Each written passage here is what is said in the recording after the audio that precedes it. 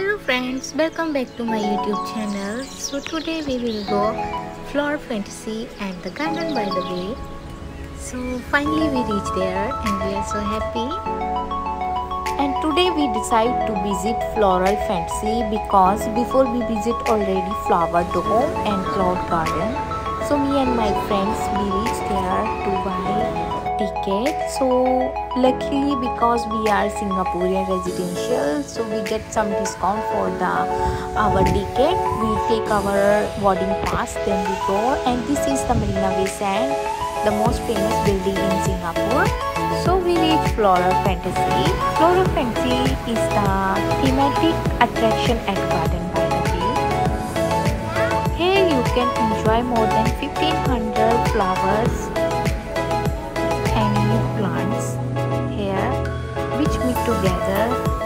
Flowers artistry and technological come together.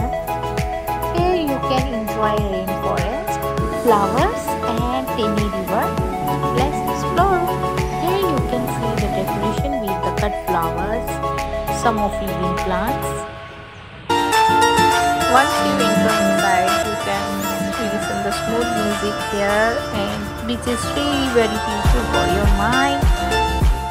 Being the first landscape of flower fantasy in Singapore, it is located right at the entrance among various ups and downs gardens sporting more than 1500 flowers. You can see here roses, daisies and orchid flower here. Here you can meet with the plants here at the rainforest where you can try to find some fruit.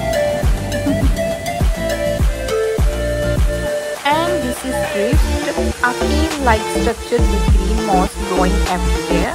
Drift is the large landscape of the factory in Singapore, which contains more than 50 species of exotic South America origin.